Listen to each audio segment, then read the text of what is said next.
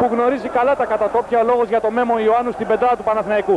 Ούτε Βουρτζούμης λοιπόν, ούτε κάποιος άλλος στη θέση του τραυματία Γιώργου Γάσπαρη, αλλά ο Μέμος Ιωάννου δίπλα στον Γιαννάκη, τον Πετσάρσκι, τον Τάρπλεϊ και τον Άντερσον και από την άλλη πλευρά Γκάλης, Σοκ, Κόμαζετς, Παπαπέτρου και, Τάρπ, και Βράνκοβιτς. Η πρώτη επίθεση για τον Παναθηναϊκό με το Σοκ. Ο Άρης ξεκινάει με man to man και τον Γιαννάκη πάνω στον Σοκ, ενώ το μαρκάρισμα του Γκάλη έχει αναλάβει ο Ιωάννου. Ο Γκάλης στην πρώτη του επίθεση, assist προς τον Κόμαζετς και το πρώτο καλάθι του αγώνα ο Παναθηναϊκός προηγείται 2-0 εδώ με τον 22χρονο Κροάτη. J.J. Άντερσον. Man to man και από τον Παναθηναϊκό. Το σούτ από τον Τάρπλεϊ. Rebound από τον Βράγκοβιτς. Μια υπόθεση που θεωρεί κλειδί ο Παυλίσεβιτς τον έλεγχο τον αμυντικό rebound ώστε να μην δοθούν δεύτερες ή τρίτες επιθέσεις στον Άρη. Παπαπέτρου στη θέση του Μυριούνι που βεβαίως προέρχεται από τραυματισμό του λείπει αγωνιστική δράση και γι' αυτό προτιμήθηκε ο Παπαπέτρου που άλλωστε είναι και πιο ψηλό. Σοκ. Ο JJ μαρκάρει τον Κόμαζετς, ο Τάρπλη βέβαια πάνω στο Βράνκοβιτς. Έγινε το λάθος από τον Παναθηναϊκό Τάρπλη που δεν έχει κανένα πρόβλημα να κατεβάσει περίτεχνα την μπάλα αλλά μερικές φορές η κατάχρηση οδηγεί σε σφάλματα και ο Παναθηναϊκός με τον Γκάλι που αντιμετωπίζει σήμερα μια πολύ μεγάλη πρόκληση στην καριέρα του. Έγινε το φάουλ από τον Πετσάρσκι.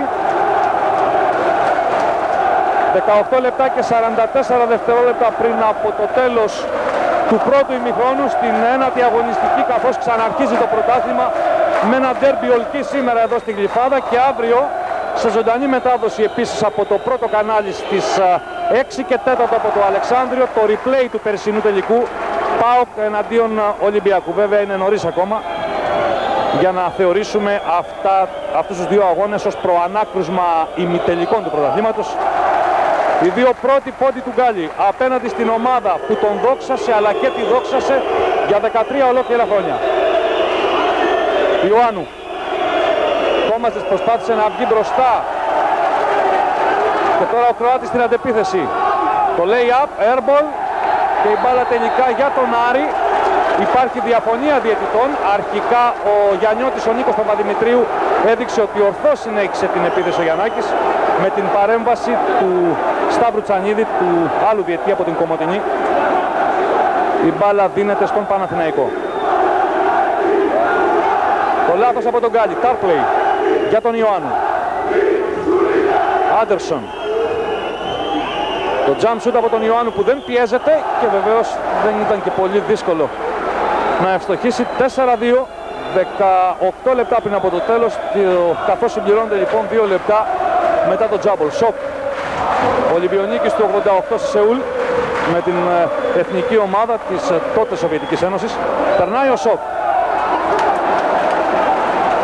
Και πάλι τάρπλεϊ για τον συμπατριώτη τον Άντερσον. Έχει επιστρέψει ο Παναθηναϊκός Rebound του Βράνκοβιτς που μέχρι στιγμής ε, τηρεί τις οδηγίες του προπονητή του. Προσπάθεια ευνηδιασμού για τον Παναθηναϊκό. Η assist, δεύτερη assist του Γκάλι προς τον Παπαπέτρου και ο Παναθηναϊκός προηγείται με 6-2. Αργύρης Παπαπέτρου που τηρεί στο εμπαρόδο έχει μια καλή παράδοση στους αγώνες εναντίον του Άρη για όσους βεβαίως πιστεύουν στις παραδόσεις. Tarplay Φάουλ στο ξεκίνημα της προσπάθειας του Αμερικανού. Του Αμερικανού του Ρόι Τάρπλι που έχει θεωρηθεί ως ε, ο πλέον ακαταμάχητος παίκτης του ελληνικού πρωταθλήματος και δεν είναι υπερβολή αν πει κανείς ότι είναι ένας από τους καλύτερους ακόμα και ο καλύτερος Αμερικανός που παίζει αυτή τη στιγμή στην Κυριά Ήπειρο. Βεβαίως η θέση του δεν είναι στην Ευρώπη, η θέση του είναι στο NBA. Ιωάννου. Παπαπέτρου εναντίον Τάρπλεϊ. Προφανώς ο Παυλίσεβιτς φοβάται τη φορά του Βράνκοβιτς καθώς δεν υπάρχει το λεγόμενο backup, εναλλακτική λύση στον πάγκο του Παναθηναϊκού σε περίπτωση που ο Κροάτης χρεωθεί με φάουλ και έτσι τη βρώμικη δουλειά πάνω στον Τάρπλεϊ αναλαμβάνει στο ξεκίνημα ο Παπαπέτρου. Δεν ισχύει όμως το ίδιο και στην επίθεση του Παναθηναϊκού. Να εδώ ο Βράνκοβιτς συμπαίκτες Βράνκοβιτς και Κόμαζε στην Εθνική Κροατία στο Ραβερσέ σούτ από τον ύψους 2-17 Κροάτι Σέντερ και ο Παναθηναϊκός φτάνει στο 8-2 3,5 λεπτά μετά την έναρξη του αγώνα που γίνεται σε μια πολύ θερμή ατμόσφαιρα εκατέρωθεν.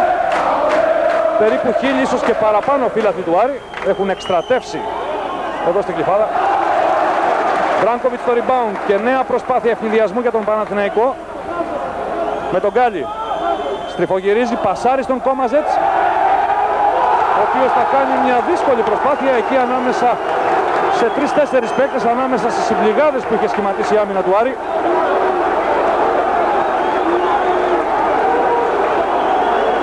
Ξαναβλέπετε την προσπάθεια του Κόμαζετς, το σκορ γίνεται 12 και ο Γιατζόγλου επιστρατεύει τον, Μύρο, τον Μιχαήλ Μισούνο. Τάρπλεϊ. Το λάθος του Αμερικανού πασάρει εκεί που δεν θα έπρεπε στον προπονητή του Στίβ Γιατζόγλου. Και time out εσπεσμένα από τον Γιατζόγλου. Σάτο Άρης 12, Γκάλης απέναντι στον Ιωάννου, το jump shoot 12-2 με 4 πόντους μέχρι στιγμής από τον Νίκο Γκάλη, δύο βολές και το πρώτο δίποντο, το πρώτο καλάθι εντός παιδιάς, ο Μισούνοφ στην πεντάδα του Άρη. Ο Γιαννάκης κόβεται από τον Βράγκοβιτς, υπήρξαν συμπαίκτες πριν από δύο χρόνια στον Άρη, στον Άρη που εκείνη τη χρονιά έκανε double και έφτασε ως το Final Four της Σαραγώσα. Ξαναβλέπουμε τη φάση, το κόψιμο του Βράγκοβιτς που άλλωστε είναι μέτρη του είδους και προηγείται στη λίστα. Μια έξυπνη προσπάθεια του Μισούνοφ απέναντι στον Βράγκοβιτς. Εδώ ο σκόρερ, Παναθηναϊκός Σάτο Άρης 12-4 ακριβώς 5 λεπτά μετά τον Τζάμπολ. Σόκα εναντίον Γιαννάκη και Κόμαζετς. Βράγκοβιτς. Το jump shoot από τον Παπαπέτρου. Τάρπλεϊ εύκολα στο rebound. Τάρπλεϊ που είναι πρώτος rebound του πρωταθλήματος με ένα μέσο όρο περίπου 20 rebound. Γιαννάκης για τον Άντερσον. Και το καλάθι από τον Αμερικανό του Άρη 12-6 εδώ. J.J. Άντερσον επί σειρά ετών κορυφαίο σκόρερ του Ιταλικού πρωταθλήματος με την ομάδα της Φλωρεντίας. Εδώ για Τζογλου. Στον οποίο δεν είναι άγνωστα τα συναισθήματα που νιώθει σήμερα ο Γκάλης. Ο Γκάλης που τώρα δέχεται το φάουλ του Ιωάννου γιατί πριν από 7 χρόνια έτυχε και στο Γιατζόγλου μια τέτοια συναισθηματική σύγκρουση να παίξει με την φανέλα του ΠΑΟΚ στον Πειραιά απέναντι στον Ολυμπιακό τον οποίο υπηρέτησε επί 13 χρόνια. 14 λεπτά και 19 δευτερόλεπτα πριν από το τέλος του ημιχρόνου. Ο Παναθηναϊκός προηγείται με 12-6. Μπράνκοβιτς για τον Σοκ. Και έφτασε η ώρα για τη μεγάλη σύγκρουση ενώπιος ενωπίο Γκάλ, ε, Γιαννάκης εναντίον Γκάλι. Απαγκιστρώθηκε ο Ιωάννου από το μαρκάρισμα του Γκάλι ενώ ο Κόμαζετς κάνει το 15-6 με αυτό το καλάθι τριών πόντων και στη συνέχεια ο Γιαννάκης θα έχει δικαίωμα να επαναφέρει την μπάλα στον Άρη. Δίπλα μας, ε, ενώ θα ξαναδείτε την γρήγορη προσπάθεια για απάντηση του Γιαννάκη, είναι ο Κώστας Μουρούζης, από τον οποίο θα έχουμε μια πρώτη τεχνική εκτίμηση ύστερα από 6,5 λεπτά αγώνα. Κύριε Μουρούζη. Ε, αυτή τη στιγμή ήταν ένα ωραίο καλάθι του Μισούδο. Πρέπει να πούμε ότι ο Παναθηναϊκός μέχρι αυτή τη στιγμή σαν συγκρότημα είναι πιο ομάδα ενώ ο Άρης ε, είναι, παίζει συγκεκριμένα στον επιθετικό τομέα. Δηλαδή αυτοσχεδιάζει. Ενώ ο Παναθηναϊκός παίζει με σύστημα με πέντε παίκτες. Ε, πιστεύω ένα καταπληκτικό καλάθι του Νίκου Γκάλη. Πιστεύω ακλάδαντα ότι και οι δύο ομάδες θα δείξουν το καλύτερό τους σε αυτό σήμερα και να είναι ανάλογοι με την ιστορία και το τι έχουν δώσει στο ελληνικό μπάσκετ και οι δύο αυτές μεγάλες ομάδες. Γεγονός είναι ότι σε αυτά τα πρώτα λεπτά ο Παναθηναϊκός πιάνει στον ύπνο τον Άρη που προσπαθεί να απαντήσει τώρα και τα καταφέρνει με τον Ιωάννου. Το σκορ γίνεται 17-10, 12 λεπτά και 50 δευτερόλεπτα πριν από το τέλος. Στο μεταξύ προηγουμένως βιαστήκαμε, απλά ήταν κίνηση αλληλοκάλυψης. Το στιγμίο μαρκάρισμα του Γκάλι από τον Γιαννάκη, σοκ ελεύθερος. Από τα 6 και 25, 20-10, double score. Το 12,5 λεπτά πριν από το τέλος του μηχρόνου με έναν Παναθηναϊκό που αν μη τι άλλο διακρίνεται από ορθολογισμό στην επίδεσή του και ξέρει να εκμεταλλεύεται τις περιστάσεις με καλά σκριν από τον Βράγκοβιτς και εκμετάλλευση του ισχυρότερου αυτού που είναι η περιφερειακή ισχύς. Λύσεις δηλαδή από τον Γκάλι, από τον Σοκ και από τον Κόμαζετς. Η απάντηση από τον Τάρπλεϊ και 20-12 εδώ ο Ρόι Τάρπλεϊ ο Τάρπ The Shark όπως τον αποκαλούν οι φίλοι του Άριου, ο Καρχαρίας Σοκ. Το παιχνίδι πάντως ξεκίνησε με καλούς ιονούς.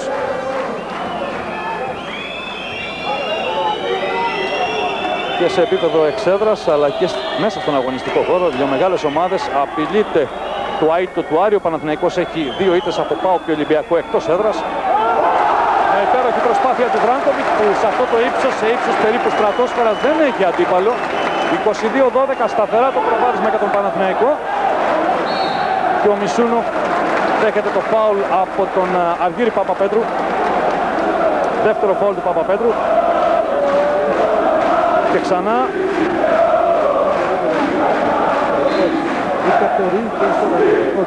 Είναι πιο σωστά τοποθετημένο. Ο, ο Άρης έχει αυτή τη στιγμή στην άμυνα, δεν υπάρχει αλληλεπάνηση και πιστεύω ότι δεν θα υπάρξουν και οι γρήγορες επιστροφές, πράγμα το οποίο ο Παναθηναϊκός το έχει αυτή τη στιγμή.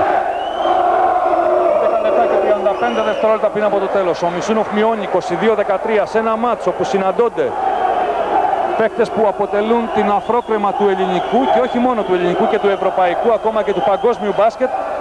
Έχουμε παίκτες που προπορεύονται στις λίστες 8 διαφορετικών στατιστικών κατηγοριών έως τώρα στο πρωτάθλημα. Από τον πρώτο rebounder όπως είναι ο Τάρπλη, πρώτος στα κοψίματα τον Βράνκοβιτς, πρώτος στις assist τον Γκάλι και ένα σωρό άλλες διακρίσεις. Ο Γκάλης στο βιολί του στο μεταξύ, 24-14. 11 λεπτά και 17 δευτερόλεπτα. Και νέο πλεονέκτημα για τον Παναθηναϊκό που φαίνεται να ελέγχει το παιχνίδι και τουλάχιστον μέχρι στιγμής ο Άρης δεν μπορεί να απαντήσει. Η διαφορά στους 10 πόντους μετά το άστοχο σου τριών πόντων του Κόμαζετς που έχει εντυπωσιακό ποσοστό ευστοχίας στο εφετινό πρωτάθλημα και βεβαίως είναι πρώτος με ποσοστό πάνω από 50% στα τρίβοντα. Ιωάννου για τον Άντερσον που έχει απέναντί τον Κροάτη. Τάρπλεϊ. Έξυπνη πάσα προς τον Μισούνοφ και φάουλ από τον Βράνκοβιτς. Είναι το πρώτο φάουλ του Κροάτης Σέντερ του Παναθηναϊκού. Ξαναβλέπουμε εδώ την προσπάθεια του Μισούνοφ και το φάουλ που χρεώνουν οι διαιτές μπορούσαμε να πούμε κύριε Σκουτή ότι ο Νίκος Ογκάλης εκτός του ότι είναι ένας σπουδαίος παίκτης, μεγάλος παίκτης, μεγάλος σκόρερ είναι και ένας μεγάλος προπονητής μέσα στο γήπεδο. Είναι ο δεύτερος προπονητής που χρειάζεται μια ομάδα. Γι' αυτό άλλωστε έλεγαν επί σειρά ετών ότι είτε ο Γιάννης Ιωαννίδης στον Άρη, είτε ο Κώστας Πολίτης και Ευθύμης και Μουρτζόγλου στην εθνική ομάδα είχαν, ήταν βέβαια προπονητές στον πάγκο και είχαν και δύο βοηθούς, δύο εισάξιους στους προπονητές στον αγωνιστικό χώρο. Σωστά. Η μπάλα είναι για τον Άρη, όπως δείχνουν οι διαιτές, παρά τις αντιδράσεις παικτών ε, και θεατών. Και φτάνει η ώρα του Βαγγέλη Βουρτζούμη, για τον οποίο ε, υπήρχε μια φημολογία τις τελευταίες ημέρες ότι θα αναλάβει το μαρκάρισμα του Γκάλι, συμπέκτη του τα δύο-τρία τελευταία χρόνια στον Άρη. Αποχωρεί ο Ιωάννου. Αυτή την αλλαγή κύριε Σκουτή την περίμενα νωρίτερα. Το σκόρ είναι 24-15, 10 λεπτά και 38 δευτερόλεπτα πριν από το τέλος. Ο Γκάλης πάνω στο Βουρτζούμι και πάντα ο Σόκ στον Γιαννάκη. Βουρτζούμης που έρχεται, ας μου επιτραπεί έκφραση, αεράτος μετά τις τρεις πρώτες του συμμετοχές στο βάπτισμα του πυρός στην εθνική ομάδα. Και αυτό σημαίνει αέρας να μπαίνει, να αναλαμβάνει την πρωτοβουλία και να εκτελεί με την πρώτη. Ο Άρης μειώνει σε 24-17, περίπου στα μισά του πρώτου ημιχρόνου. Και πραγματικά ο Μπουρτζούμης, ενώ είδατε για λίγο και τον Γιατζόγλου, αναλαμβάνει το μαρκάρισμα του Γκάλη. Μπράνκοβιτς απέναντι στον Τάρπλεϊ Γυρίζει ο Κροάτης με ταμπλό. Κανείς εκεί από πλευράς Παναθηναϊκού για το rebound; Και ο Γιαννάκης. Θα αλλάξει τώρα ο ρυθμός του Άρη με την είσοδο του Μπουρτζούμη. Ο Γκάλης στο αμυντικό rebound μετά το airball. Προσπάθεια ευνηδιασμού με τον Κόμαζετ που διεισδύει. Στο ξεκίνημα της προσπάθειας του Κροάτη έχει καταλογίσει το φάουλο Παπαδημητρίου. Θα μπορούσαμε να ξαναδούμε το replay αυτό. Το καλάθι δεν μετράει. Το καλάθι δεν μετράει, σωστά.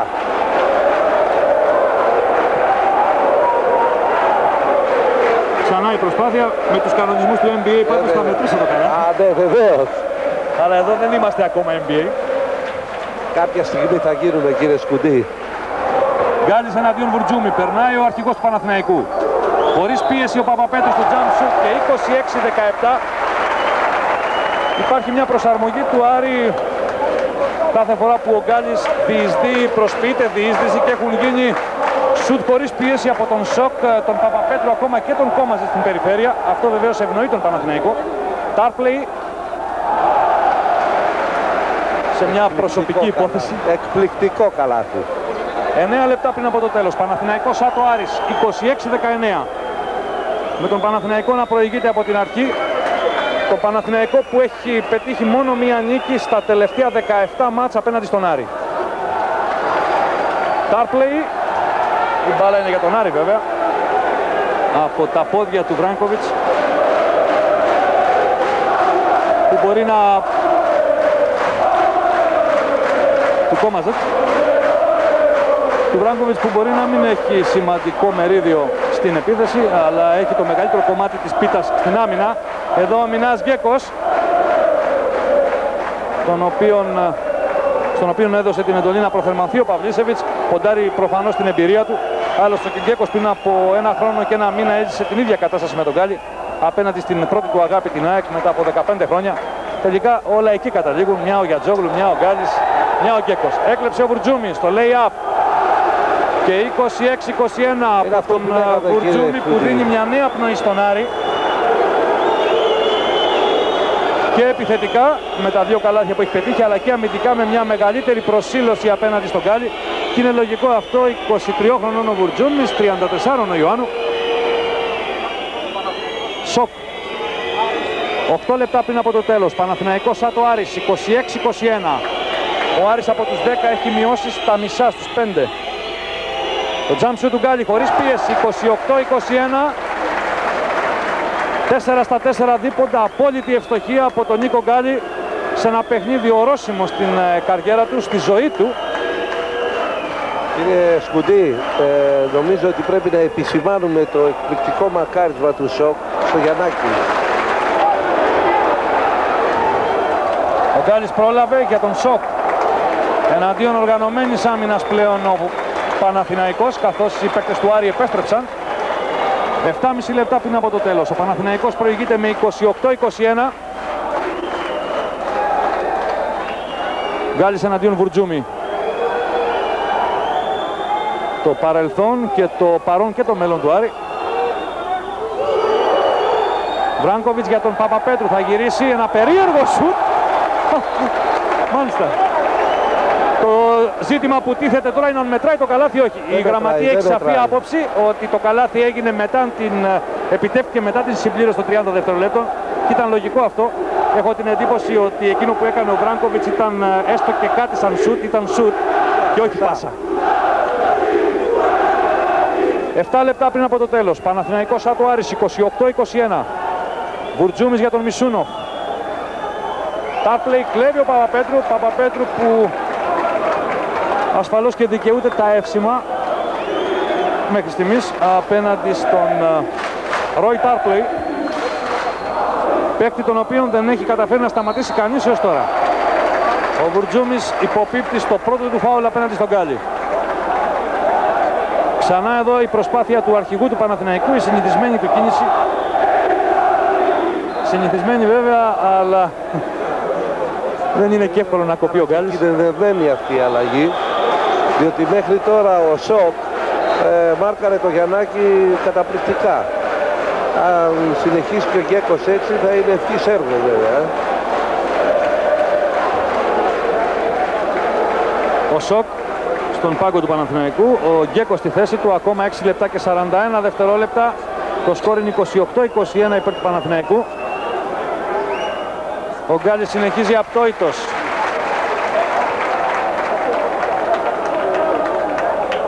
Έχει πετύχει ως τώρα 11 πόντους με απόλυτη επιτυχία και στα δίποντα και στις ελεύθερες βολές. Όχι. Η πρώτη άστοχη βολή έχει 4 στα 4 δίποντα και 3 στις 4 βολές. Όλα αυτά μας κάνουν 11 πόντους. Ο Γκέκος αναλαμβάνει το μαρκάρισμα του Γιαννάκη ελήψη του σοτ. Θα είναι το πρώτο καλάθι του Γιαννάκη, όχι. Ο Γιαννάκης ε, εδώ και 13,5 λεπτά που ξεκίνησε το μάτς δεν έχει πετύχει πόντο. Παναθηναϊκός διατηρεί πάντα τον έλεγχο στο σκορ. 29-21, 6 λεπτά και 10 δευτερόλεπτα πριν από το τέλος του ημιχρόνου. Γκάλης. Προσπαθεί εκεί να βοηθήσει με σκρίνο Παπαπέτρου. Ο Γκάλης δεν το χρειάζεται. Τώρα χρειάστηκε να πασάρει. Τρία δευτερόλεπτα ακόμα, δύο. Είναι η δεύτερη φορά στις τελευταίες τρεις επιθέσεις που η μπάλα μένει στα χέρια των παικτών του Παναθηναϊκού με τη συμπλήρωση των 30 δευτερολέπτων.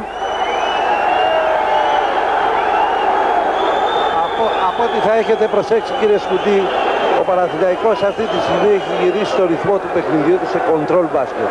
Είναι πράγμα το οποίο το συμφέρει διότι περνάει στο σκορ. 5 λεπτά και 50 δευτερόλεπτα ακόμα. Είναι το τρίτο φάουλ του Παπαπέτρου πάνω στον Tarplay. Εδώ ο Παπαπέτρου. Και ο Παυλίσεβιτς ετοιμάζει από την άλλη πλευρά τον Μυριούνι. Tarplay. Έκλεψε ο Παναθηναϊκός με τον Γκάλι. Έγινε το λάθος, ο Tarplay μαζεύει. 5,5 λεπτά πριν από το τέλος με τον Παναθηναϊκό να προηγείται με διαφορά 8 πόντων 29-21 και το πρώτο φάουλ του Γκάλι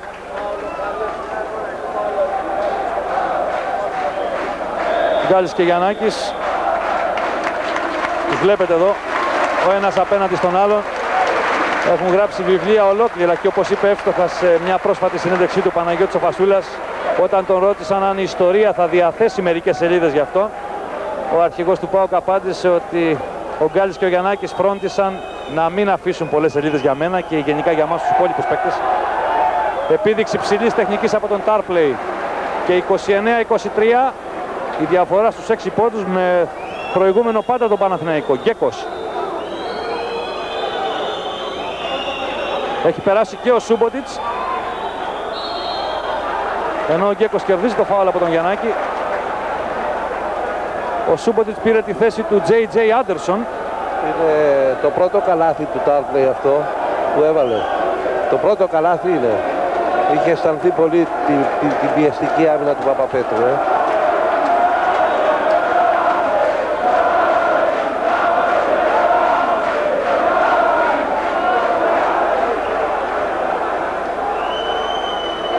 Πέντε λεπτά και 14 δευτερόλεπτα ακόμα. Παραμένει το 29-23. Εδώ ο Παυλίσεβιτς για δεύτερο χρόνο στον Παναθηναϊκό. Δύο φορές πρωταθλητής Ευρώπης. Ο ένας από τους τρεις Ευρωπαίους προπονητές που το κατάφεραν αυτό. Οι άλλοι δύο ήταν ο Μπιανκίνη και ο Γκομέλσκι. Το σκορ δεν άλλαξε μετά τις δύο άστοχες βολές του Γκέκου. Πέντε λεπτά ακόμα. Παναθηναϊκός Άτο Άρης 29-23. Ο Γκατζόγλου ποντάρει στην εμπειρία του Σούμποτιτς που μπορεί να είναι ο Μαθουσάλας του ελληνικού πρωταθλήματος στα 36 προς 37 του αλλά δεν πάβει να είναι ένας καλός σουτέρ. Ένα εκπληκτικό κόψιμο του Βράνκοβιτς, ε, ίσως και αναμενόμενο με την τόλμη που διέκρινε εκεί τον Μπουρτζούμι. Κόμαζετς περιμένει και τους υπόλοιπους. Είναι αυτό που επισήμανε προηγουμένως και ο Κώστας Μουρίου. Ο Παναθηναϊκός δεν θέλει να ρισκάρει καθώς ελέγχει το σκορ. Προτιμά τις λεγόμενες σίγουρες επιθέσεις αλλά αυτή η τακτική δύο φορές του κόστισε την απώλεια των επιθέσεων με τη συμπλήρωση των 30 δευτερολέπτων. Κόμαζετς περνάει, κόβεται από τον Τάρπλεϊ, επιμένει ο νεαρός και το φάουλ από τον Σούμποτιτς. Το σκορ έγινε 31-23. Άριαν Κόμαζετς, σκόρερ Ολκής, τρεις φορές πρώτο σκόρερ στο ενιαίο Γιουγκοσλαβικό και πέρυσι στο Κροατικό πρωτάθλημα και πολυτιμότερος παίκτης όλα αυτά στα 20 του χρόνια. Ξανά το κόψιμο του μένει ο Κροάτης 31-23 το σκορ. 4 λεπτά και 24 δευτερόλεπτα πριν από το τέλος. Και 32-23 από τον Κόμαζετς που σπανίως θα στοχεί από όπου και αν εκτελεί. Έχει 68% στα δίποτα, 54% στα τρίποτα και 83% στις βολές νούμερα για Όσκαρ. Ακόμα 4 λεπτά Γιαννάκης, πασάρει στον Τάρπλεϊ, το μαρκάρισμα του οποίου ανέλαβε ο Μυριούνης και δίνει βοήθειες αλληλοκαλύπτοντας ο Βράνκοβιτς. Ο Μυριούνης και γενικά οποιοδήποτε παίκτης και μάλιστα πιο κοντός από τον Τάρπλεϊ είναι δύσκολο να το σταματήσει. Και εκεί βέβαια πίσω υπάρχει το σκιάχτρο, ένα σκιάχτρο πολυτελείας που ακούει στο όνομα Βράνκοβιτς. Ο Παμπούλας όπως τον έχω ονομάσει. Αυτός είναι ο Τάρπλεϊ.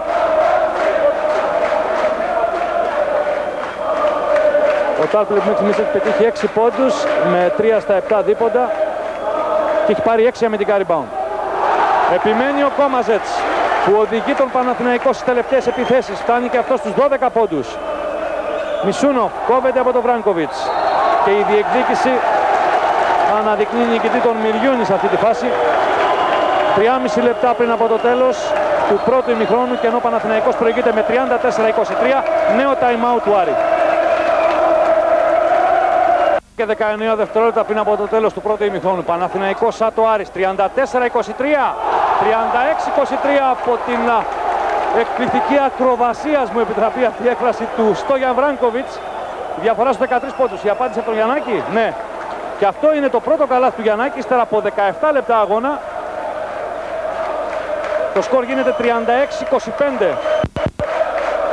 Ο Γκάλης και playmaker. Γιατί όχι.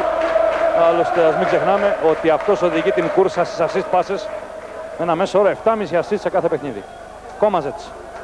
Επανήλθε ο J.J. Anderson ενώ ο Γιατζόγλου τώρα μόλις χρησιμοποιεί για πρώτη φορά και τον ε, Ντίνο Αγγελίδη. Τέσσερα δευτερόλεπτα ακόμα. Θα ξαναπέσει την παγίδα ο Παναθηναϊκός. Όχι, τελικά έκλεψε ο Μπουρτζούμης που πάει για το lay-up. Ένα εκπληκτικό κόψιμο αυτή τη φορά από τον Κόμαζετς. Ωστόσο, ο Παπαδημητρίου έχει διαφορετική άποψη. Θα ξαναδούμε τη φάση. Αν μας βοηθήσει βέβαια το Νομίζω ναι, ναι, ότι ναι, έχει μετράει, δίκιο ο μετράει. διαιτητής. Μετράει το καλάθι. Το καλάθι είναι έγκυρο. Η μπάλα βρισκόταν σε Στην πορεία κάθοδο. καθόδου. 36-27. Ακόμα 2 λεπτά και 17 δευτερόλεπτα πριν από το τέλος. Βράγκοβιτς θα καρφώσει. Όχι. Θα πάρει το φάουλ από τον Αγγελίδη. Παναθηναϊκός κύριε Μουρούζη φαίνεται να έχει και έναν πλουραλισμό στην επίθεση. Δηλαδή υπήρξαν ε, επιθετικές επιλογές από τα δύο μεγάλα του ατού, τον Γκάλι και τον ε, Κόμαζετς.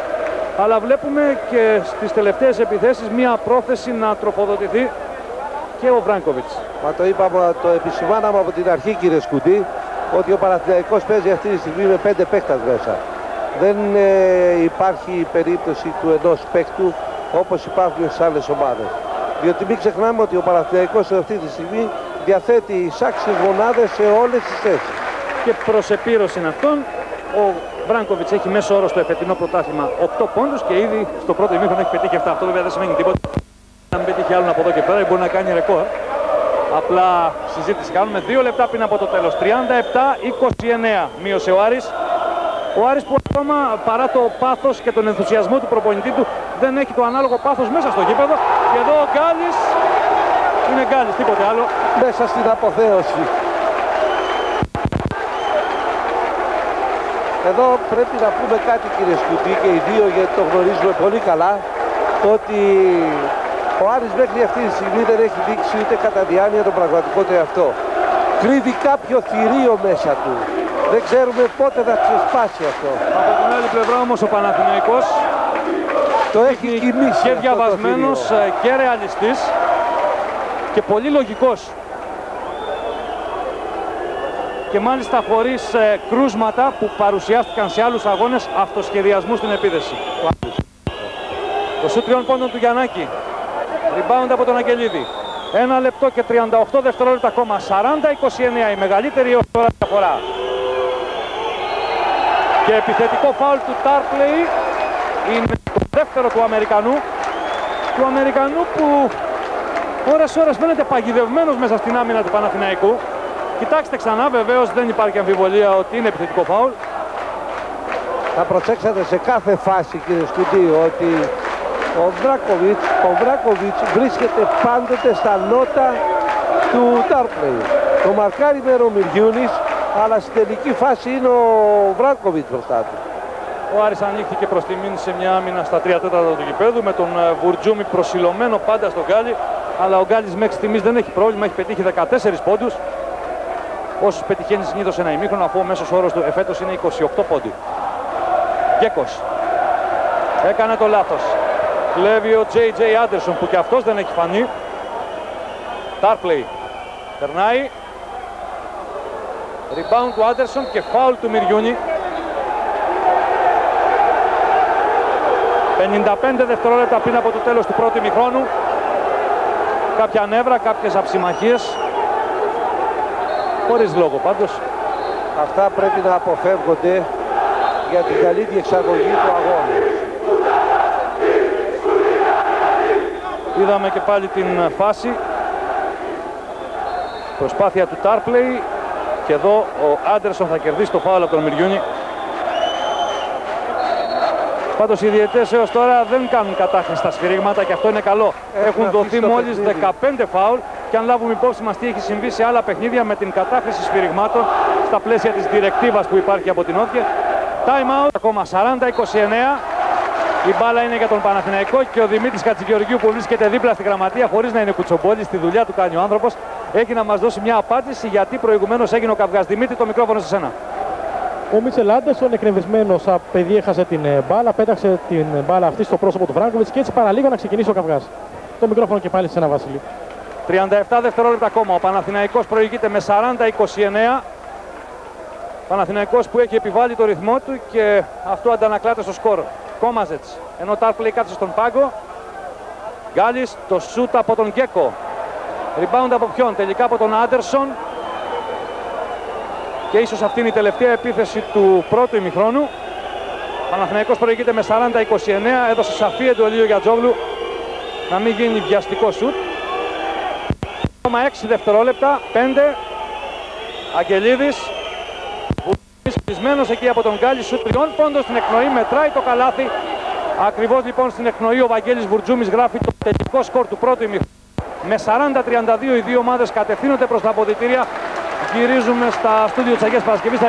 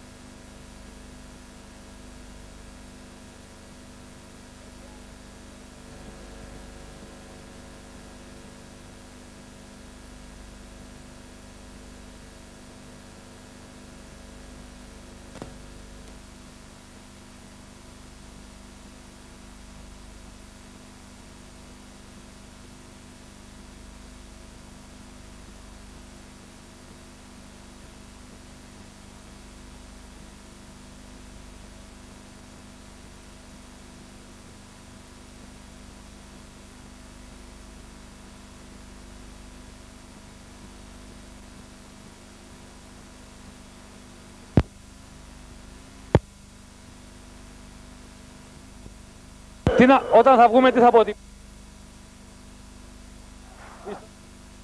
Σε σύντομη διακοπή επιστρέφουμε στην Κλειφάδα. 44-36 πάντα υπέρ του Παναθηναϊκού. Ο Γκάλης για τον Βράνκοβιτς. Προσπάθεια εκεί για double team από Μισούνοφ και Τάρπλεϊ. 8 δευτερόλεπτα ακόμα για τον Παναθηναϊκό. Κόμαζετς. Παναθηναϊκός έχει πέσει μέχρι τώρα τρεις φορές την παγίδα των 30 δευτερόλεπτων. Γκάλης στο shoot. Rebound του Τάρπλεϊ. 16,5 λεπτά πριν από το τέλος διαμαρτυρίες για φάουλ που πιθανόν να έγινε. Μπουρτζούμης. Μια ομοιρική μάχη ανάμεσα στον Γιαννάκη και στον Κόμαζετς. Και ο Παπαδημητρίου κατόπιν ορίμου σκέψες μείνει την μπάλα στον Άρη, κάτι που δεν αρέσει βέβαια στον Παναθηναϊκό. Ελέγχεται το σφύριγμα αυτό. Να, ήδη έχει αλλάξει λόγο. Ήδη έχει αλλάξει λόγο.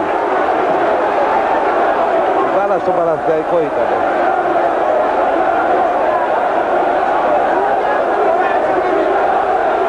Και όπως ε, με πληροφορεί ο Δημήτρης Κατζηγεωργίου ήταν η παρέμβαση του Σταύρου Τσανίδη, ο οποίος είχε σαφή άποψη ότι η μπάλα βγήκε από τα χέρια του Γιαννάκη. 16 λεπτά ακόμα. Ο Παναθηναϊκός προηγείται με 44-36 χωρίς όσο και αν αυτό φαίνεται περίεργο και θα φαινόταν πολύ πιο περίεργο πριν αρχίσει το μάτς να αντιμετωπίζει ιδιαίτερα προβλήματα. Απέναντι σε έναν Άρη που όσο και αν είναι αυστηρός ο χαρακτηρισμός φαίνεται να παίζει τυχαία. Έτσι, χωρίς πρόγραμμα. Αυτή τη στιγμή γίνεται μια παρατήρηση στο Dark μέρος ιδιωτικού για το φάουλ που έκανε και με τον τρόπο που το έκανε.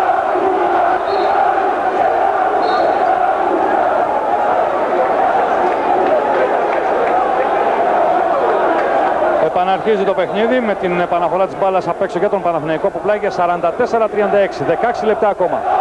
Γκάλης. Για τον Σοκ. Κερδίζει το φάουλ από τον Άντερσον. Ο Άρης λοιπόν βρίσκεται 8 πόντους πίσω και απειλείται βέβαια αισθητά το μεγάλο ρεκόρ που έχει αυτή τη στιγμή στην Ευρώπη, το δεύτερο καλύτερο ρεκόρ στην Ευρώπη με 12 νίκες σε εισάριθμους αγώνες, 8 στο πρωτάθλημα και 4 στην Ευρώπη. Δεύτερο καλύτερο ρεκόρ πίσω από το 13-0 της τουρκικής Φενέρμπαχτσε. Ξανά στο παιχνίδι με τον Γκάλι. Ένα εκπληκτικό καλάθι από τον Νίκο Γκάλι, 46-36. 15 λεπτά και 45 δευτερόλεπτα πριν από το τέλος. Προσπαθεί να απαντήσει ο Γιαννάκης που κόβεται με φάουλ όμως κατά τον ε, Τσανίδη από τον Μυριούνι. Κύριε Σκουτή, είναι κάτι το οποίο πρέπει να αναφέρουμε. Στον πάγκο του Άρη, από πίσω βρίσκεται ο Νίκολιτς. Αυτή, αυτή η μεγάλη φυσιογνωμία του ευρωπαϊκού μπάσκετ, προπονητής επί σειρά ετών σε όλη την Ευρώπη και προπονητής της Εθνικής Ιουγκοσλαβίας. Θα μπορούσαμε όλα αυτά κύριε Μουρούζη να τα συνοψίσουμε σε μία λέξη έτσι όπως τον αποκαλούν προφέσορ, δηλαδή καθηγητής και φανταστείτε πόσο σοβαρά είναι τα πράγματα για τον Άρη όταν ένας άνθρωπος 70 χρονών που πάσχει από Πάρκινσον που πολύ δύσκολα μετακινείται και για πρώτη φορά συνόδευσε τον Άρης σε εκτός έδρας μάτς αναγκάστηκε να πάει στα ποδητήρια για να δώσει οδηγίες στο ημίχρονο. Έχει ένα ρόλο τεχνικού συμβούλου σε συνεργασία με τον Στίβ Γιατζόγλου. Την αξία του την ξέρω γιατί τον έχω βρει αντιμέτωπο πολλές φορές. Τότε που ήταν μεγάλη η Βαρέζε Ακριβώς. και είχε αντιμετωπίσει τον Ολυμπιακό στο κύπρο Πρωταθλητριών. Πάνε 15-16 χρόνια από τότε. Μπράνκοβιτς, πασάρι στον Μυριούνι, εδώ αντιστράφηκαν οι ρόλοι, φάουλ γκολ. Μετράει το καλάθι του Μυριούνι και είναι μια ώρα δύσκολη για τον Ρόι Τάρπλεϊ που χρεώνεται με το τέταρτο του φάουλ. Όχι με το τρίτο. Με το τρίτο του φάουλ, το προηγούμενο είχε χρεωθεί στον Άντερσον, αλλά πάντως ε, και το τρίτο φάουλ συνιστά κίνδυνο για τον Αμερικανό.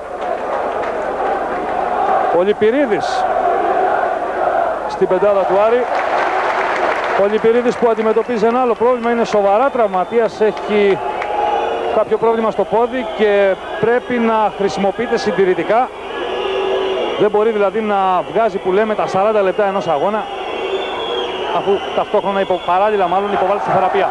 Το κλέψιμο του σοκ στον Τάρπλεϊ 14 λεπτά και 50 δευτερόλεπτα ακόμα με τον Παναθηναϊκό να έχει πάντα το προβάδισμα απέναντι στο Σάτο Άρη 49-38. Ένα μάτς που είναι έως τώρα παράσταση για ένα ρόλο για τον Παναθηναϊκό. Γκάλης ανάμεσα σε 2, σε 3 και 51-38. Ρεσιτάλ Νίκου Γκάλη που φτάνει στους 20 πόντους έχοντας απέναντί του μια ομάδα βέβαια αλλά και 13 χρόνια ζωής και 13 τίτλους, 14 τίτλους μάλλον. Τόσους κέρδισε με τον Άρη; Τους 13 από αυτούς με τον Γιαννάκη. Που θα πετύχει τώρα το δεύτερο καλάθι του στο σημερινό αγώνα, το τρίτο μάλλον.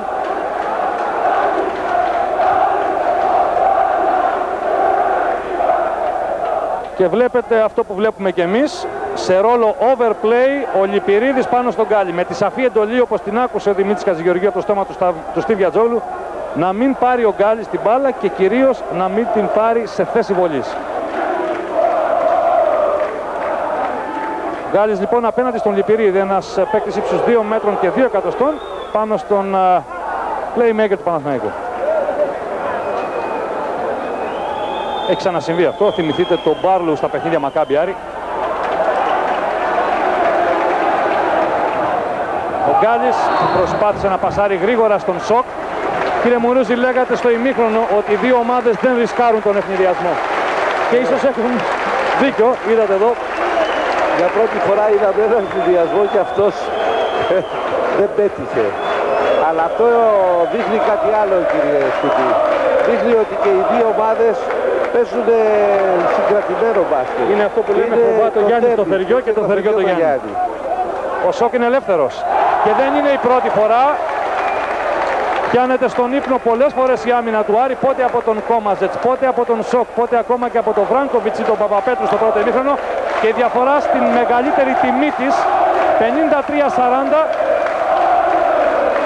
με έναν Άρη που αντιμετωπίζει πολλά προβλήματα και δεν μπορεί να τα λύσει. Το φάουλ του Κόμαζετς. Και έναν Παναθηναϊκό που παίζει άνετα. Τόσο άνετα ώστε να αναγκάζει τον Στίβια Τζόγλου να πάρει κι άλλο time out 12 λεπτά και 40 δευτερόλεπτα πριν από το τέλος. 53-40 πάντα υπέρ του Παναθηναϊκού και πάντα ο Λιπηρίδης πάνω στον Γκάλι εκτός κι αν ε, έχει γυρίσει ο Άρης σε ζώνη έτσι νομίζω. Δεν νομίζετε είναι έτσι. Θα το δούμε αυτό στην εξέλιξη της επίθεσης του Παναθηναϊκού. Πάντως δεν υπάρχει κίνηση παικτών προς παίκτες. Πάντως ο Άρης έκλεψε ότι και να ήταν αυτή η άμυνα απέδωσε. Και στην ε, προσπέλαση του Γιαννάκη προς το καλάθι ο Γκάλης υποπίπτει στο φάουλ το δεύτερο του φάουλ στο σημερινό παιχνίδι. Εδώ Γκάλης εναντίον Γιαννάκη. Τις φωτογραφίες των δύο αυτών παιχτών θα δει οποιοδήποτε ανοίξει ένα λεξικό στο Λίμα μπάσκετ. Ένα τρομερό κόψιμο του Βράγκοβιτς. Και σοκ που κερδίζει το φάουλ από τον Λιπερίδη. Αν είναι δυνατόν, παρακαλώ, ο Γιάννης Ντατσόπουλος με πρόλαβε. Κοιτάξτε εδώ τι γίνεται είναι εδώ που λένε ότι η Λεζάντα περιτεύει.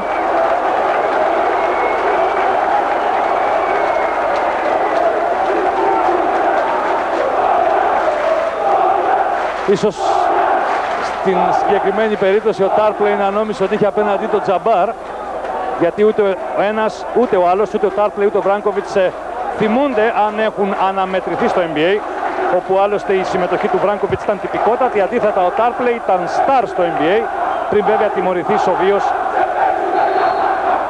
για χρήση ναρκωτικών. 55-40 η διαφορά στους 15 πόντους. Ένα απίστευτο σκορ, απίστευτο πριν αρχίσει το μάτς, αλλά έχω την εντύπωση διαφορά, ε. απόλυτα δικαιολογημένο έτσι όπως εξελίσσεται. Είδατε και την αμηχανία του Στίβια Τζόγλου αποτυπωμένη στο πρόσωπό του. Ο άνθρωπος προσπαθεί να βρει μια λύση έτσι όπως κινούνται οι παίκτες του είναι δύσκολη λύση. Ο Μισούνοφ από την κορυφή της ρακέτας 55-42, 11 λεπτά και 44 δευτερόλεπτα πριν από το τέλος. Ο Γιατζόγλου ετοιμάζει απέναντι και πάλι τον Ιωάννου. Κόμαζετς. Μυριούνης χωρίς πίεση σου τριών πόντων airball. Η μπάλα στον Μισούνοφ. Ακόμα λοιπόν 11,5 λεπτά για, το, για να τελειώσει το 61ο μάτς ανάμεσα στον ε, Παναθηναϊκό και τον Άρη. Ο Άρης έχει τη μερίδα του λέοντας στην προϊστορία, όχι πάντως με μεγάλη διαφορά. 32 νίκες έναντι 28 του Παναθηναϊκού. Και στην Αθήνα βέβαια τα πράγματα είναι ξεκάθαρα σε 29 αγώνες, 21 φορές νικητής ο Παναθηναϊκός, 8 ο Άρης. Ήταν ε, δύσκολα εκεί τα πράγματα για το σοκ και προκειμένου να ρισκάρει προτίμησε να οργανώσει την επίθεση από την αρχή. 11 δευτερόλεπτα ακόμα στη διάδοση του Παναθηναϊκού. Ο Παναθηναϊκού που δεν έχει πίεση τουλάχιστον σε αυτή τη φάση του παιχνιδιού. Για μια ακόμα φορά όμως ο κανόνας των 30 δευτερολέπτων και time out που ζήτησε τώρα ο Παυλίσεβιτς.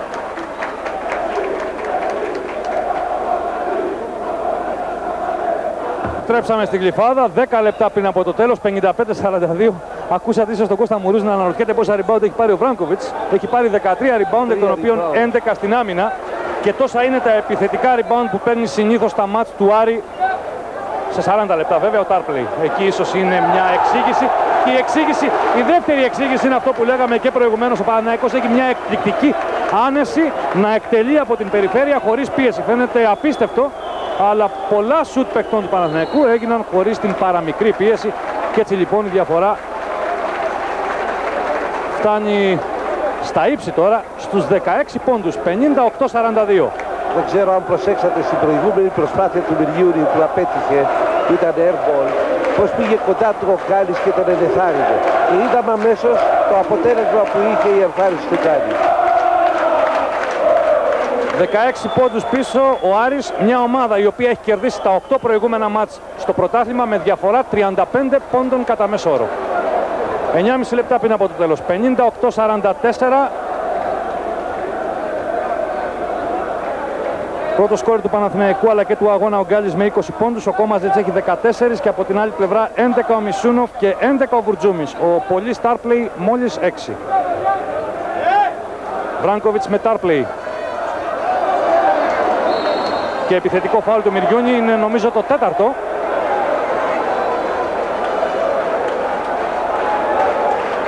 Ενώ τρία φάουλ έχει ο Παπαπέτρου από τον Παναθηναϊκό και από τον Άρη επίσης τρία ο Τάρπλεϊ. Να επιμείνουμε σε εκείνο που λέγαμε και στο πρώτο ημίχρονο, ενώ γίνεται τώρα η αλλαγή στη θέση του Μυριούνι ο Αλβέρτης, ότι οι διαιτητές δεν έχουν κάνει κατάχρηση σφυριγμάτων και καταφέρουν να ελέγχουν το μάτς. Άλλωστε μέχρι στιγμής δεν έχουν, δεν έχουν ασχοληθεί φίλαθλοι ιδιαίτερα μαζί τους, ούτε και παίκτες που μπορούμε να ασχοληθούμε αυτή τη στιγμή κύριε Σκουτή είναι το πόσο ευάλωτη είναι η άμυνα του Άρη. Γιατί βλέπουμε συνέχεια τους παίκτες του Παναθηναϊκού να σουτάρουν τελείως ελεύθεροι.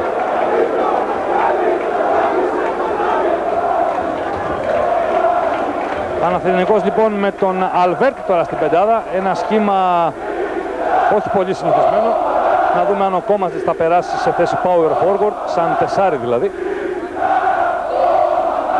αλλά όπου και να περάσει ο Κόμαζες δεν νομίζω ότι έχει και πολύ μεγάλη σημασία. Ο Γκάλης μάλλον ε, έχει αποφασίσει ή τουλάχιστον επί, 20, επί 32 λεπτά αποφασίζει για την εξέλιξη του μάτς. Αυτός ο άνθρωπος, αυτός ο μπασκετμπολίστας είναι ένα κομπιούτερ. Είναι ένα μηχανάκι που παράγει καλάθια. Λες και έχει δέσει το καλάθι στο χέρι του. 3 στα 3 δίποντα από τον Ιωάννου, το σκορ γίνεται 60-46. 8 λεπτά πριν από το τέλος.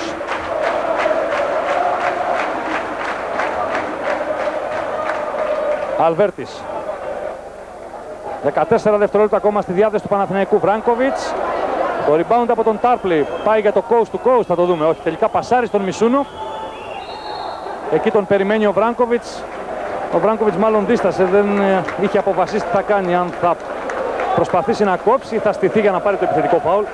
Πάντως το φάουλ ήταν σωστό.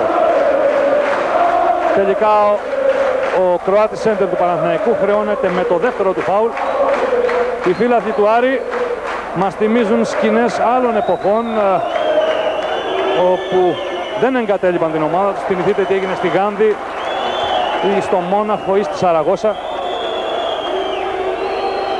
Και βέβαια το αντίθετο σκηνικό στην άλλη πλευρά με τους ε, φιλάθλους του Παναθηναϊκού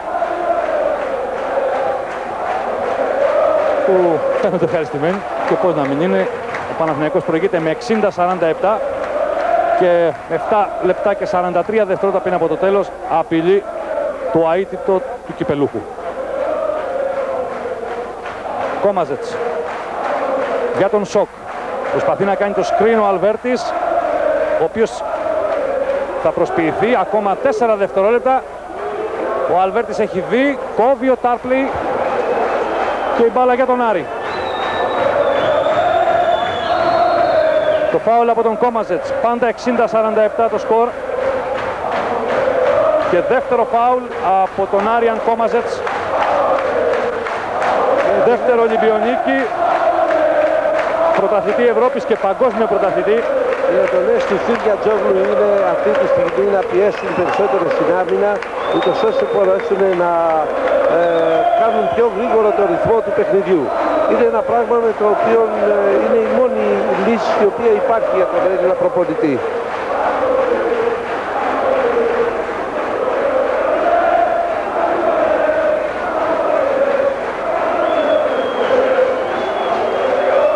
Είδατε το Γιατζόγλου. Επιθετικό rebound του Τάρπλεϊ, το καλάθι και το φάουλ ο Άρης φαίνεται να αρχίζει να εξαπολύει την αντεπίθεσή του και ο Παυνίσεβιτς απαντά επαναφέροντας τον Μυριούνι στην πεντάδα.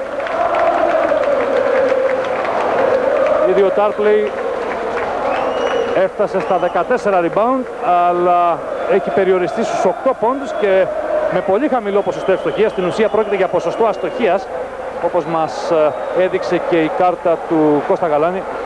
4 στα 13 δίποντα. Ο Τάρπλεϊ που συνήθως σουτάρει πάνω από 50%.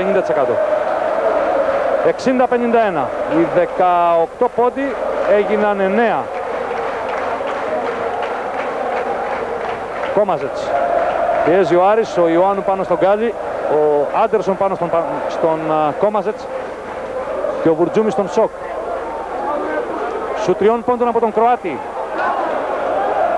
Και η μπάλα είναι για τον Παναθηναϊκό. Από τα χέρια του Τάρπλεϊ. 6 λεπτά και 44 δευτερόλεπτα πριν από το τέλος. Παναθηναϊκός Σάτο Άρης 60-51. Από ένα φάουλ, όπως καταλογίζει ο Σταύρος Τσανίδης.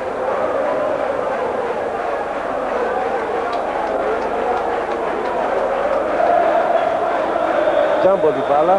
Ο Μυριούνης ήδη αποβάλλεται αφού το φάουλ αυτό ήταν το πέμπτο του. Παίρνει λοιπόν την Άγουστα προς τον πάγκο και από την άλλη πλευρά ήταν το δεύτερο του Μισούνο. Εδώ είδατε στο replay τι ακριβώς έγινε σε αυτή την περίεργη φάση. Τζάμπολ λοιπόν, ήδη όχι βέβαια με τη συμμετοχή του Μυριούνι ο οποίος αποβλήθηκε.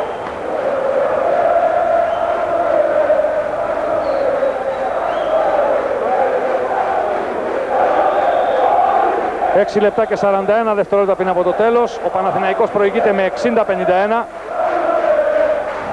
Πονηρός ο Βράγκοβιτς πήγε να πάρει τη θέση του Μυριούνι στο Τζάμπολ. Οι διαιτητές συνεννοήθηκαν και τον επανέφεραν στην τάξη. Θα πηδήσει στο Τζάμπολ ο παίκτης που αντικατέστησε τον Μυριούνι. 6,5 λεπτά ακόμα. Παναθηναϊκός Σάτο Άρης 60-51. Ο Άρης ανέκαμψε, αλλά ακόμα βρίσκεται 9 από τους πίσω και μέχρι τη στιγμή αυτή δεν έχει πείσει, αλλά και ο Παναθηναϊκός σε αυτά τα τελευταία λεπτά δεν ε, παίζει το καλύτερο μπάσκετ που είδαμε σήμερα. Κόμαζετς. Για τον Σοκ, η assist, το καλάθι από τις ε, λίγες φορές που η μια ή η άλλη ομάδα έφυγε στον ευνηδιασμό. 62-51, ένα καλάθι ανάσα για τον Παναθηναϊκό. 6 λεπτά ακόμα. Τάρπλεϊ και φάουλ. Με κίνδυνο παρεξήγησης ανάμεσα στον Κροάτη και τον Αμερικανό.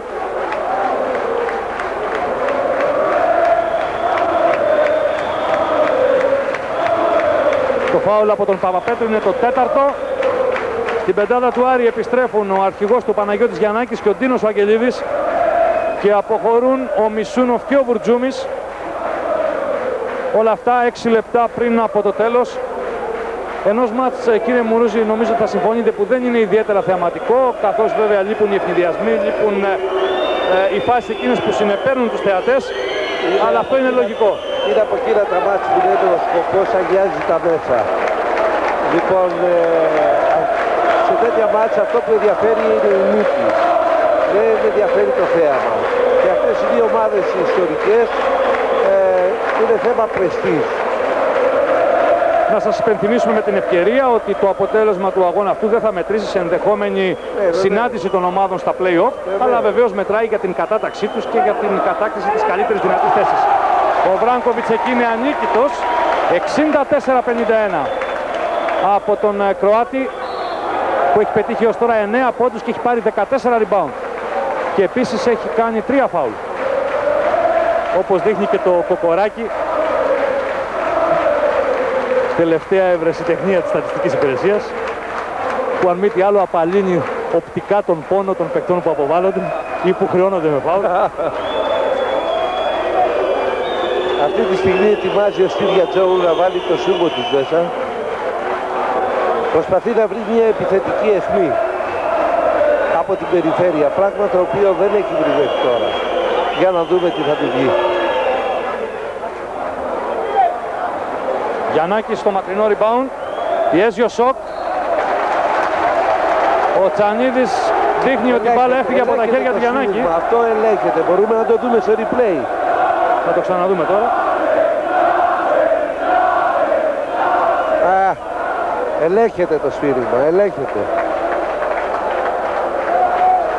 Αυτή ήταν η απόφαση των διετών. Πάντως 64-52. 5 λεπτά πριν από το τέλος. Ο ορισμός του control μπάσκετ, τουλάχιστον από πλευράς Παναθηναϊκού, που δεν έχει άλλωστε πρεμούρα.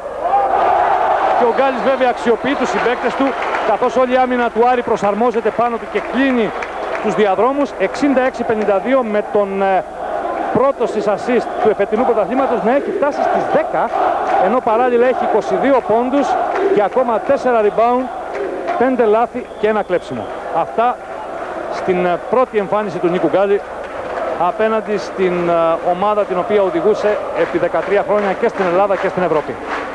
Βλέπετε εδώ τους πρώτους σκόρες, Γκάλης, Κόμαζετ, Σοκ και Μισούνοφ, Βουρτζούμις και Τάρπλεϊ.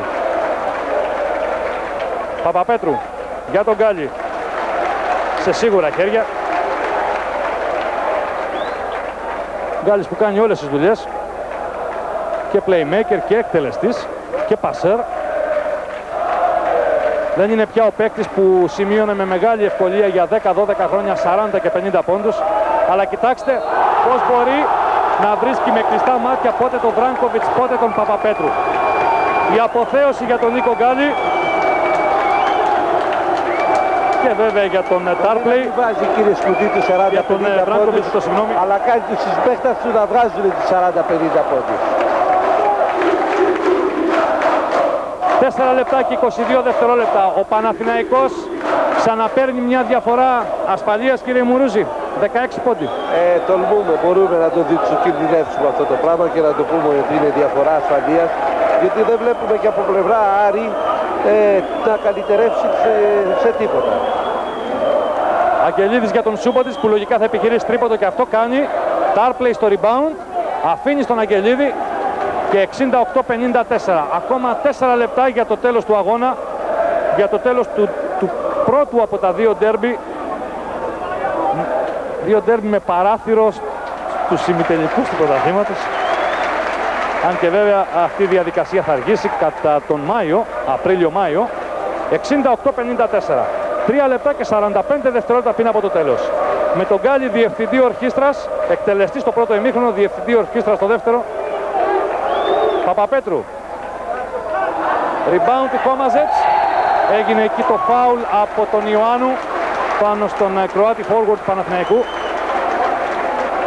Ιωάννου έχει χρεωθεί με το τρίτο του φάουλ. Ξαναβλέπετε εδώ την προσπάθεια του Κόμαζετς. Κόμαζετς σε έναν αθόρυβο ρόλο. Συνέβαλε όμως και αυτός στον πλουραλισμό του Παναϊκού. Εδώ ο Γκάλης γίνεται και γιατρός. Ή τουλάχιστον προσφέρει τις πρώτες βοήθειες, μάλλον κράμπα, τουλάχιστον ε, αυτό, αυτή η κίνηση Ο είναι άνθρωπος για χαρακτηριστική. όλες τις δουλειές του λέει εδώ.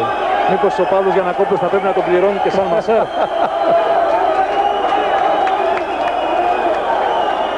Τριάμιση λεπτά ακόμα, 68-54. Αυτοί βεβαίως είναι οι φίλαθλοι του Παναθηναϊκού που για να λέμε την αλήθεια είχαν πολλά χρόνια να ζήσουν τέτοιες στιγμές.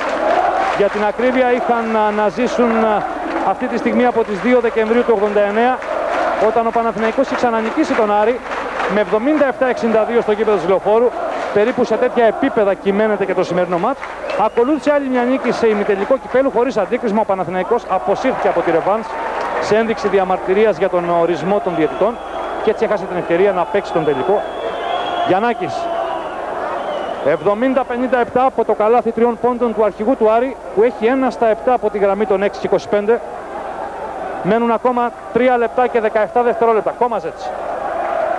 Ο Άρης πιέζει και ο Παναθηναϊκός απαντά με αυτό που συνηθίζεται εδώ και δεκαετίες, τέσσερις γωνίες.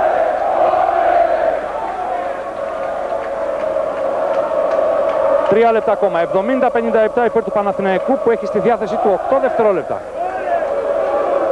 Τώρα 4. Το φάουλ από τον Σούμποτιτς.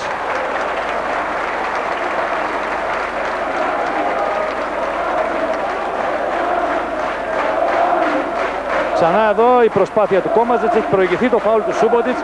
Ο Άρης έχει τεράστιο επιθετικό πρόβλημα. Σχεδόν ε, 2,5 λεπτά πριν από το τέλος του αγώνα βρίσκεται στους 57 πόντους ενώ η εφετινή επιθετική παραγωγή του υπερβαίνει τους 100 πόντους. Έχει για την ακρίβεια μέσο όρο 101,7 πόντους και όπως είπαμε και προηγουμένως σε σε κάθε αγώνα επιβάλλεται με διαφορά 35 πόντων. Αλλά βέβαια οι αριθμοί πάνε περίπατο σήμερα κύριε Μουρούζη. Πρέπει να πούμε κάτι άλλο κύριε Σκουντή ότι βιαστήκαμε λίγο για τον Άρη και να πούμε ότι η γρήγορη προετοιμασία αυτή ήταν πρόωρη και ότι μπορεί να στοιχήσει αυτή μελλοντικά. Εγώ νομίζω ότι η προετοιμασία ήταν σκληρή και σιγά σιγά θα πρέπει να ανανεώσουν τις δυνάμεις. Εδώ ο Κόμαζετς έκανε αυτό ακριβώς που ήθελε. Φτάνει και αυτό στους 20 πόντους, 2,5 λεπτά πριν από το τέλος, time out. Το σκορ έγινε 74-61, 2 λεπτά και 15 δευτερόλεπτα πριν από το τέλος του αγώνα. Ο Ιωάννου που διάλεξε λάθος παιχνίδι για να κάνει ρεσιτάλ επιθετικών επιλογών 4 στις 4. Αλλά ο Γκάλης δεν διάλεξε λάθος παιχνίδι, ήταν ακριβώς το παιχνίδι που ήθελε να παίξει τον μπάσκετ που ξέρει. Δεν λυπάται τίποτα. Δεν νιώθει καμία λύπηση. Και προσέξτε, ο Γκάλης έχει 10 στα 12 δίποντα. 0 στο 1 τρίποντο, 4 στις 5 βολές και 11 assist.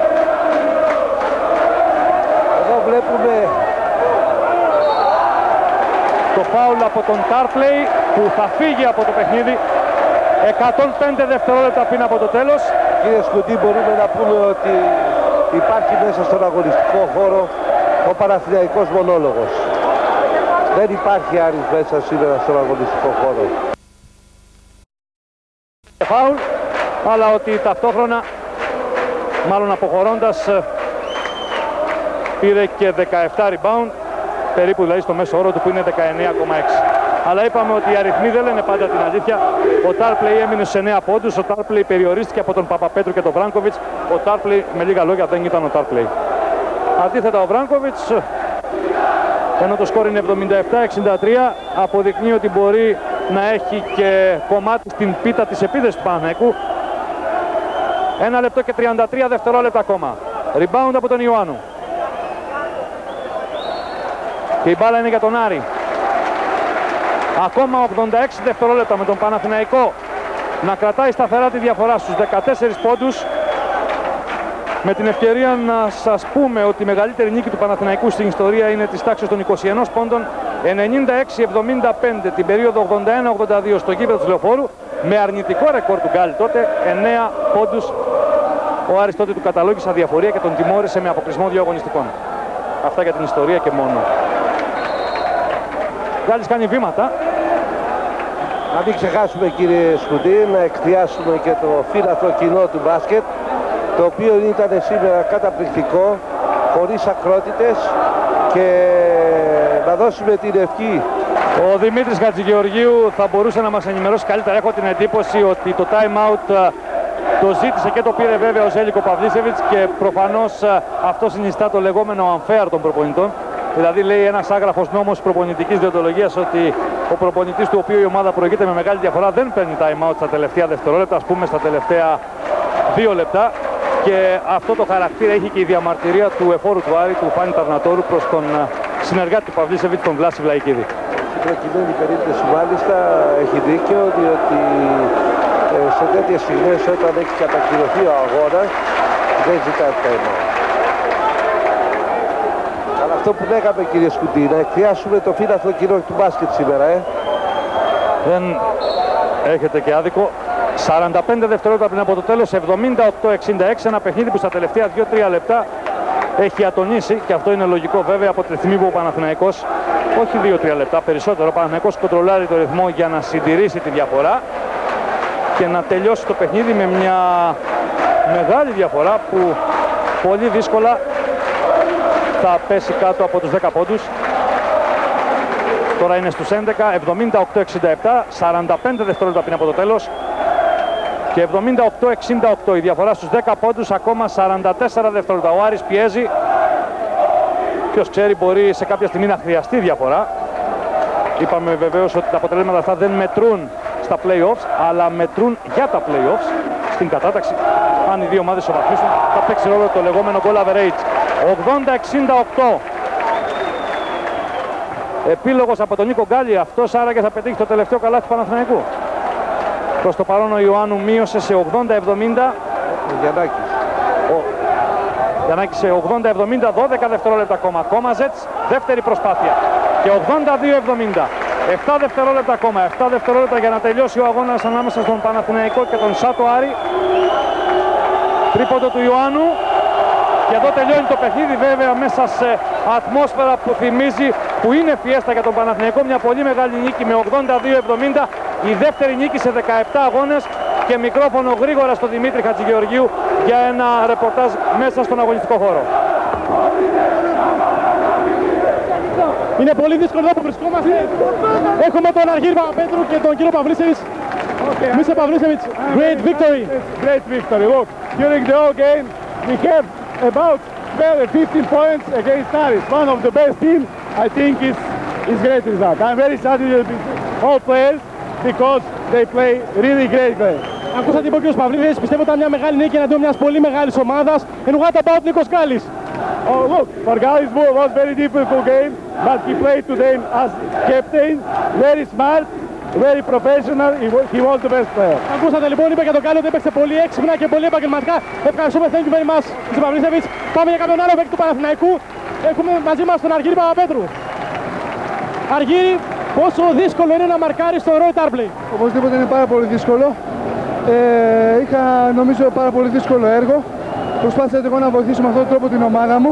Σίγουρα η νίκη μας οφείλεται στην άμυνα. Τη χαρίζουμε στον κόσμο μας και στον πρόεδρό μας. Και θέλω να ευχηθώ να έχουμε καλή συνέχεια γιατί νομίζω ότι αυτή η ομάδα το αξίζει. Ευχαριστούμε πολύ και από εκεί που βρίσκεται ο Νίκος Γκάλης, αν μπορεί να μας μιλήσει, βλέπετε τι γίνεται. Προσπαθούμε πάντα να μιλήσουμε με τον Νίκο Γκάλη, ελπίζουμε να κατέβει και να μιλήσει. Τώρα κατεβαίνει ο Νίκος Γκάλης. Νίκο Γκάλη, αυτή η νίκη, ειδικά αυτή η νίκη και αυτός ο αγώνας εναντίον του Άρη, ήταν ορόσημο για την καριέρα σου. Ε, πρώτα απ' όλα θέλω να πω ευχαριστώ σε όλα τα παιδιά. Παίξανε με καρδιά, παίξανε με ψυχή. Ε, όταν παίξεις εναντίον μια μεγάλη ομάδα όπως είναι ο Άρης και μπορείς να κερδίσεις με αυτό το σκορ, τα λέει όλα. Ε, συγχαρητήρια στον Άρη, όπως ξέρετε έχει μια πάρα πολύ καλή ομάδα. Ο προπονητής σου μου είπε πριν λίγο ότι είσαι πολύ επαγγελματίας και πολύ εξπροσμένος επαγγελματίας. Σήμερα όμως μέτρησε μόνο επαγγελματισμός ή και κάποια συναισθήματα που θα έχεις αφού το καλοκαίρι έφυγες από τον Άρη; Ήταν το πιο περίεργο παιχνίδι στη ζωή μου. Ε, ειλικρινά αισθάνθηκα στην αρχή, λέω τι ζητάω εδώ μέσα. Όταν άρχισε το παιχνίδι, θυμήθηκα την τέχνη μου και έπαιξα μπάσκετ. Ε, εγώ ποτέ δεν θα ήθελα να σταθώ λίγο στον Άρη και δεν μπορώ να πω τίποτα για αυτή την ομάδα. Ο Γκάλης Άρης είναι στην ιστορία και δεν μπορώ να πω τίποτα για το παρελθόν. Έκανα το καθήκον μου να βοηθήσω την ομάδα μου να κερδίσει αυτό το παιχνίδι. Σήμερα είναι όσο από τις σπάνιες περιπτώσεις. Βλέπουμε και τον πρόεδρο Παναθηναϊκού τον κύριο Γιανακόπουλο. Νίκο Γκάλη, από τις λίγες περιπτώσεις που και οι οπαδοί και των δύο ομάδων χειροκροτούσαν εσένα. Και οι οπαδοί του Άρη. Αυτό τι σημαίνει για σένα, μια αναγνώριση. Σίγουρα έχουμε ζήσει τόσες μεγάλες στιγμές με την ομάδα του Άρη που είναι το μόνο φυσιολογικό. Μίλησες για μεγάλες στιγμές. Αυτή η νίκη είναι ορόσημο να ξεκινήσουν μεγάλες στιγμές και για την ομάδα του Παναθηναϊκού που τα τελευταία χρόνια έχει μείνει πίσω. Μια πολύ μεγάλη στιγμή για τον Παναθαϊκό. Ο Παναθαϊκός θα βάλει τις βάσεις φέτος για μια πολύ μεγάλη ομάδα. Και κάτι άλλο, σήμερα ήταν ένα μάτς μεταξύ πρωταγωνιστών. Εσύ, ο Γιαννάκης από την άλλη, ο Τάρμπλε, ο Βράγκοβιτς, ο Κόμαζε, ο Άντερσον. Αυτό είναι το ελληνικό πρωτάθλημα. Πιστεύεις ότι θα βοηθήσουν όλοι αυτοί οι άσοι και εσύ μέσα σε αυτούς να ανέβει ακόμη περισσότερο το μπάσκετ; Αυτό είναι το ωραίο του μπάσκετ, είναι το ωραίο χρώμα που έχει το μπάσκετ. Όταν έχεις παιχταράδες μέσα στο γήπεδο, ευχαριστεί ο κόσμος και είναι ένα όμορφο θέαμα. Ο κόσμος πώς θα βλέπει ακόμη τον Νίκο Γκάλη στα γήπεδα; Ο κόσμος πόσο καιρό θα βλέπει ακόμη τον Νίκο Γκάλη στα γήπεδα; Και εδώ πέρα να σου πω ότι είχες 26 πόντους και 11 assist, αν θυμάμαι καλά. Ε, ούτε εγώ ίδιος δεν ξέρω πότε θα σταματήσω.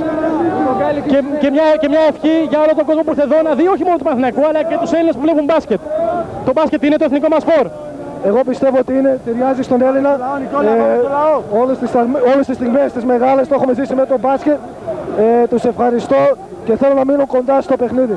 Ευχαριστούμε πολύ τον Νίκο Γκάλη. Και πάλι το μικρόφωνο στο Βασίλη Σκούτη, βλέπετε τι γίνεται. Αυτά λοιπόν από τον Νίκο Γκάλη που δεν ξέρω αν ακούσατε, αλλά έχω την εντύπωση ότι έκανε μια δήλωση που θα μείνει στην ιστορία του ελληνικού μπάσκετ. Είπε ο Νίκος Γκάλης ότι ήταν το πιο περίεργο παιχνίδι της ζωής του και κάποια στιγμή όταν μπήκε στον αγωνιστικό χώρο αναρωτήθηκε τι γυρεύω εγώ εδώ. Αυτά λοιπόν από τον Νίκο Γκάλη που τελείωσε το μάτς με 26 πόντους, 11 assist, 6 λάθη και ένα κλέψιμο. Και μια γρήγορη ματιά στους πόντους, στους αριθμούς αυτού του αγώνα. Ο Σοκ πέτυχε 9 πόντους, ο Γκάλης 26, Ο Παπαπέτρου 6, ο Βράγκοβιτς 12 με 14 rebound και 3 τάπες.